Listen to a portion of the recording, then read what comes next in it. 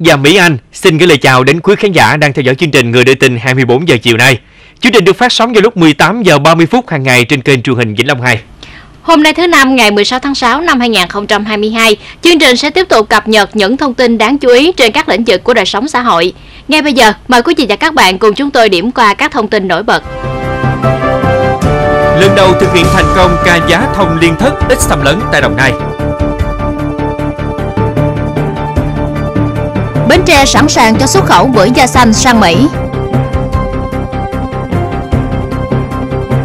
Quả quạng tại Kiên Giang, hai vợ chồng chủ siêu thị mini thiệt mạng. Điều tra vụ hai người phụ nữ chết cháy trong căn nhà tại Bình Phước. Công an ba tỉnh phối hợp truy bắt đối tượng trộm ô tô. Theo kế hoạch tuyển sinh vào lớp 10 năm học 2022-2023 trên địa bàn thành phố Hà Nội sẽ diễn ra vào ngày 18 và 19 tháng 6. Như vậy chỉ ít ngày nữa là kỳ thi chính thức bắt đầu. Tại hướng dẫn liên ngành về công tác phòng chống dịch COVID-19 cho kỳ thi tuyển sinh vào lớp 10 trung học phổ thông năm học 2022-2023 do Sở Y tế và Sở Giáo dục và Đào tạo vừa ban hành, có một số lưu ý mà thí sinh phải ghi nhớ và thực hiện khi đến điểm thi. Theo đó, thí sinh phải chủ động theo dõi sức khỏe, đo thân nhiệt hàng ngày. Nếu có dấu hiệu bất thường về sức khỏe như ho, sốt, khó thở thì báo cáo kịp thời cho điểm thi và trạm y tế xã phường thị trấn nơi cư trú.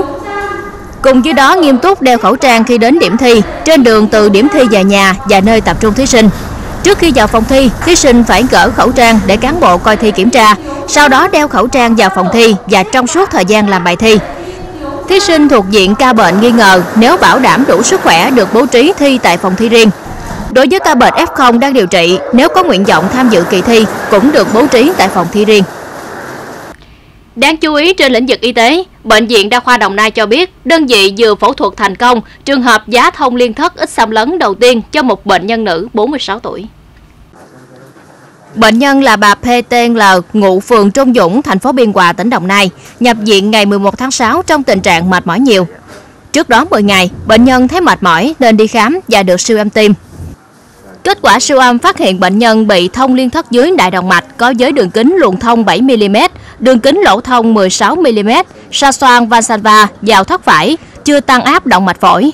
Sau hội chẩn, các bác sĩ quyết định phẫu thuật giá thông liên thất sớm cho bệnh nhân bằng phương pháp mẫu tim ít xâm lấn qua đường mở nửa trên xương ức. Các bác sĩ Bệnh viện Đa khoa Đồng Nai cho biết, với phương pháp này, chỉ cần mở một phần xương ức phía trên, đường rạch da ngắn, cùng với sự trợ giúp của các phương tiện trong phẫu thuật ít xâm lấn để giá lỗ thông liên thất. Phương pháp này có những ưu điểm là ít gây sang chấn cho người bệnh, giúp người bệnh đỡ đau sau mổ, giảm thiểu nguy cơ nhiễm trùng vết mổ, tính thẩm mỹ cao và phục hồi nhanh.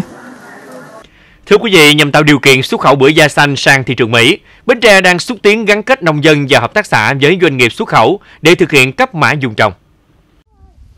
Chi cục trồng trọt và bảo vệ thực vật tỉnh Bến Tre cho biết, chi cục đang làm đầu mối gắn kết nông dân, tổ hợp tác, hợp tác xã với doanh nghiệp xuất khẩu bưởi da xanh trên địa bàn tỉnh để thực hiện hướng dẫn về việc cấp mã dùng trồng, tạo điều kiện thuận lợi nhất cho doanh nghiệp xuất khẩu sang Mỹ và kể cả các nước châu Âu. Đến nay, công tác xây dựng dùng trồng theo tiêu chuẩn các nước đã cơ bản đảm bảo. Bưởi da xanh là loại trái cây thứ bảy của nước ta vào thị trường Hoa Kỳ. Chỉ riêng 6 loại trái cây tươi đã xuất khẩu sang thị trường này mang về kim ngạch khoảng 20 triệu đô la Mỹ mỗi năm. Và bưởi da xanh hứa hẹn sẽ là nông sản xuất khẩu tiềm năng trong thời gian tới. Sau khi chính phủ cho phép mở cửa hoàn toàn hoạt động du lịch từ ngày 15 tháng 3, du lịch Khánh Hòa đang hồi phục nhanh. Bên cạnh thị trường khách nội địa, việc khai thác thị trường khách quốc tế cũng rất khả quan khi các hãng hàng không bắt đầu mở lại đường bay quốc tế đến sân bay Cam Ranh và thiết lập các thị trường du lịch mới đầy tiềm năng. Cùng với hoạt động đón khách thì tỉnh Khánh Hòa cũng tổ chức nhiều chương trình kích cầu du lịch hè với nhiều điểm nhấn đặc biệt ấn tượng. Ghi nhận của người đưa tin 24 giờ. Từ đầu năm đến nay, tỉnh Khánh Hòa đã đón gần 700.000 lượt du khách đến lưu trú, tham quan nghỉ dưỡng tại địa phương, tăng hơn 57% so với cùng kỳ năm ngoái. Trong đó, du khách quốc tế ước đạt hơn 31.000 lượt, tăng gần 75% so với cùng kỳ. Ngành du lịch tỉnh Khánh Hòa cũng đã chuẩn bị đủ các phương án đón khách, đảm bảo các hoạt động dịch vụ chất lượng một cách tốt nhất cho du khách khi đến với Nha Trang Khánh Hòa. Cộng với à, các chương trình khuyến mãi kích cầu du lịch của các doanh nghiệp du lịch thì à, cái việc mà khởi sắc lại về du lịch Khánh Hòa thì rất là khả quan. Thì chúng tôi à, sẽ cố gắng cùng đồng hành cùng các doanh nghiệp À, sẽ có nhiều chương trình, nhiều sự kiện và đảm bảo được cái chất lượng dịch vụ. Chủ đề xuyên suốt trong năm du lịch 2022 là điểm đến an toàn Nha Trang biển gọi. Các hoạt động văn hóa, du lịch, thể thao được tiến hành vào các đợt cao điểm trong mùa xuân, hè và thu.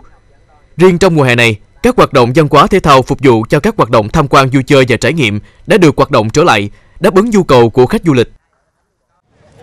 Năm 2022, ngành du lịch Khánh Hòa đặt mục tiêu đón 1,2 triệu lượt khách lưu trú, tăng 100% so với năm 2021. Trong đó có 1,16 triệu lượt khách nội địa và 40.000 lượt khách quốc tế. Doanh thu du lịch 4.000 tỷ đồng. Thời gian qua, Khánh Hòa đang từng bước phục hồi và lấy lại đà tăng trưởng trong năm nay.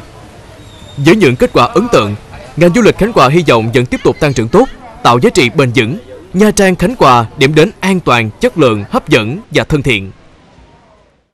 Rạng sáng nay, ngọn lửa bùng phát dữ dội tại một siêu thị mini thuộc khu vực suối Mây, xã Dương Tơ, thành phố Phú Quốc, tỉnh Kiên Giang, làm hai người tử vong. Công an thành phố Phú Quốc đang điều tra làm rõ nguyên nhân vụ cháy. Theo thông tin ban đầu, khoảng 1 giờ 30 phút sáng nay, người dân ấp Suối Mây, xã Dương Tơ, thành phố Phú Quốc phát hiện khói lửa bùng lên dữ dội tại một siêu thị mini trên địa bàn. Thời điểm xảy ra cháy, vợ chồng chủ siêu thị là anh VVN, sinh năm 1990, và chị NTL, sinh năm 1992, bị kẹt bên trong. Người dân hô quán cùng nhau dập lửa, đồng thời dùng búa để phá cửa. Tuy nhiên, đám cháy quá lớn kèm theo tiếng nổ nên không ai vào được bên trong để cứu người. Nhận được tin báo, lực lượng phòng cháy chữa cháy thành phố Phú Quốc nhanh chóng tiếp cận hiện trường. Đến 3 giờ sáng cùng ngày, ngọn lửa đã được khống chế. Hậu quả vụ cháy làm hai vợ chồng anh N và chị L tử vong, trong đó người vợ đang mang thai. Riêng hai người con của vợ chồng nạn nhân không có mặt ở nhà vào thời điểm xảy ra cháy nên thoát nạn. Công an tỉnh Bình Phước đang phối hợp công an huyện Bù Gia Mập điều tra vụ hai người phụ nữ chết cháy trong nhà. Người đàn ông nằm bất động cạnh chai thuốc trừ sâu. Công an xã Bù Gia Mập, huyện Bù Gia Mập, tỉnh Bình Phước cho biết, khoảng 3 giờ 10 phút sáng nay, đơn vị nhận được tin báo xảy ra vụ cháy tại nhà bà Trần Thị Ngọc Dân, 52 tuổi, ngụ tại địa phương, kèm tiếng la hét. Khi lực lượng chức năng đến hiện trường, ngọn lửa đã được người dân dập tắt. Qua kiểm tra, cửa nhà khóa trái bên trong, gọi cửa không ai trả lời, nên lực lượng chức năng buộc phải phá cửa.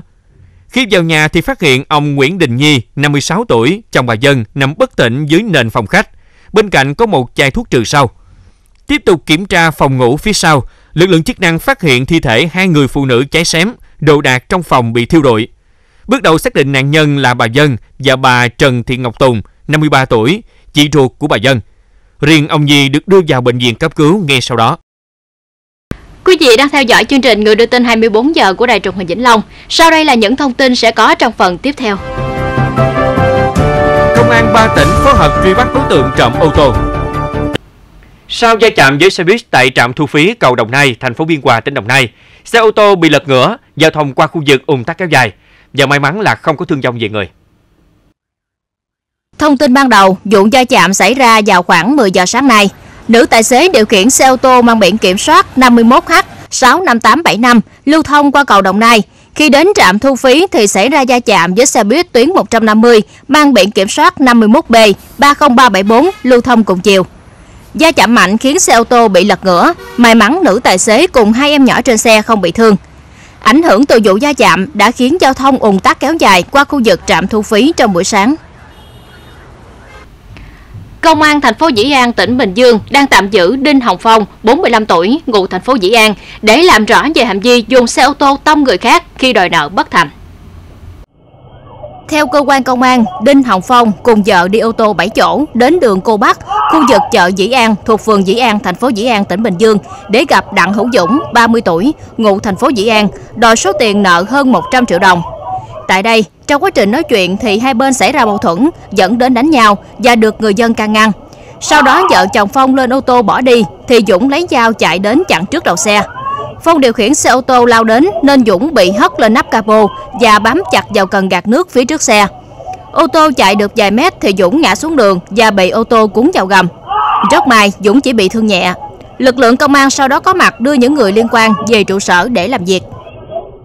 Đến 11 giờ trưa nay, Công an thành phố Diễn An và Công an thị xã Tân Quyền, tỉnh Bình Dương vẫn đang phối hợp cùng Công an tỉnh Long An và Công an tỉnh Bến Tre điều tra vụ trộm xe ô tô bị truy đuổi rồi tông vào một nhà hàng. Theo đó, sáng cùng ngày, tổ cảnh sát giao thông công an thị xã Tân Quyền tỉnh Bình Dương đang làm nhiệm vụ thì nhận được tin báo từ công an tỉnh Long An về việc một đối tượng trong băng trộm xe ô tô đang điều khiển chiếc ô tô 4 chỗ biển số thành phố Hồ Chí Minh chạy về hướng thị xã Tân Quyền. Một lúc sau, tổ tuần tra phát hiện chiếc ô tô nói trên nên yêu cầu tài xế dừng xe, nhưng tài xế không chấp hành mà tăng ga bỏ chạy. Lúc này, tổ cảnh sát giao thông cùng người dân truy đuổi về hướng thành phố Dĩ An. Khi tới một nhà hàng đang sửa chữa trên đường tỉnh 743 thuộc phường Tân Đông Hiệp, thành phố Dĩ An, thì đối tượng mất lái tông sập máy tôn rào chắn của công trình rồi lao vào bên trong. Nhận thông tin, công an thành phố Dĩ An có mặt phối hợp cùng với công an thị xã Tân Quyên, công an tỉnh Bến Tre, Long An lấy lời khai tại chỗ đối tượng. Danh tính người này được xác định là Đỗ Thanh Luân, sinh năm 1995, quê Tiền Giang. Đây là đối tượng trong chuyên án trộm xe ô tô mà công an các tỉnh miền Tây đang truy bắt. Chiếc ô tô nói trên bị trộm tại quyền Bến Lức, tỉnh Long An. Tại Vĩnh Long, khi bị lực lượng chức năng truy đuổi, một đối tượng trộm chó đã liều lĩnh chống trả để chạy thoát, song vẫn bị bắt giữ cùng tan vật và vũ khí là ớt bột. Theo ghi nhận khoảng 1 giờ 30 phút hôm nay, tại đoạn đường thuộc xã Hòa Tịnh, huyện Mang Thích, tỉnh Vĩnh Long, lực lượng công an và quân sự xã Hòa Tịnh phát hiện Nguyễn Thanh Tùng, sinh năm 1976, ngụ phường 8 thành phố Vĩnh Long, đang đi trên xe máy có biểu hiện nghi vấn nên yêu cầu dừng xe kiểm tra. Ngay lập tức, Tùng dùng bột ớt ném vào lực lượng làm nhiệm vụ hòng tẩu thoát. Tuy nhiên, lực lượng làm nhiệm vụ đã kịp thời khống chế bắt giữ được đối tượng cùng tan vật là hai con chó, cân nặng khoảng 30 kg và một súng tự chế có kết nối với kích điện dùng để bắt trộm chó. Bước đầu làm việc tại cơ quan công an, Tùng khai nhận hai con chó trên đối tượng bắt trộm tại ấp Bình Tịnh A và Bình Hòa 1, xã Hòa Thịnh. Đang trên đường mang đi bán thì bị phát hiện. Theo cơ quan công an, Tùng đã có hai tiền án cũng về tội trộm chó. Hiện vụ việc đang tiếp tục được điều tra làm rõ để xử lý theo quy định. Thưa quý vị và các bạn, ở tuổi ngoài 60, thay vì ăn dưỡng tuổi già bên con cháu, thì các nhân vật trong câu chuyện mà chúng tôi sẽ kể ngay sau đây lại dành thời gian công sức để mang niềm vui đến những hoàn cảnh khó khăn. Mời quý vị và các bạn cùng theo dõi. Lột vỏ cây, bào, lấy mực, cưa, đục. Đây là những công việc thường xuyên của tổ cấp khung nhà từ thiện xã Phong Hòa, huyện Lai Dung, tỉnh Đồng Tháp trong suốt 12 năm qua. Bình quân mỗi tháng á, thì à, khoảng từ à, à, 8 căn đến 10 căn nhà. Thì quân bình cái nhà thì theo như mình tính thì cái khung sườn và ton này kia đó là khoảng 17 18 triệu một khung. Mình lên tiếng mình rủ nhau, ví dụ anh em trong cái đội nè, thì nói chung là anh em có nhiều giúp nhiêu ông thì 500 triệu 300 vậy có khi cũng chục ngoài triệu. Còn đây là một buổi cất nhà của tổ cấp khung nhà từ thiện xã Phong Hòa cho hộ bà Nguyễn Kim Thoa ngụ tại địa phương. Dưới cái nắng gay gắt của những ngày hè, các thành viên trong tổ vẫn miệt mài tỉ mỉ lắp ráp từng chi tiết để căn nhà được hoàn thành đẹp mắt và chắc chắn. Hoàn cảnh cũng à, khó khăn. Hôm nay có nhóm à, thiện nguyện có chú Dũng à, giúp cho tôi được căn nhà rồi được mình được an cư rồi lập nghiệp mừng ăn. Mừng lắm á. Thì anh em lần này á, tuy rằng cái tuổi thì cao thật nhưng mà anh em cô bác ở đây rất là có cái tinh thần. Mấy chú nói là bây giờ mình mằng chừng nào cảm thấy mình mằng hết nổi thì mình nghĩ chứ không có nói là bỏ ngang. Nhân văn và thiết thực, những việc làm của tổ cấp khung nhà từ thiện xã Phong Hòa suốt 12 năm qua đã giúp nhiều người khó khăn có được ngôi nhà ấm áp, góp phần lan tỏa những điều tử tế trong cộng đồng. Đến đây thì thời lượng dành cho chương trình Người đưa tin 24 giờ cũng đã hết. Cảm ơn quý vị và các bạn đã quan tâm theo dõi. Xin kính chào tạm biệt và hẹn gặp lại.